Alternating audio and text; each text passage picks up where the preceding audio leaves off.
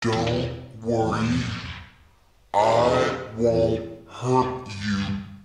I only want you to have some.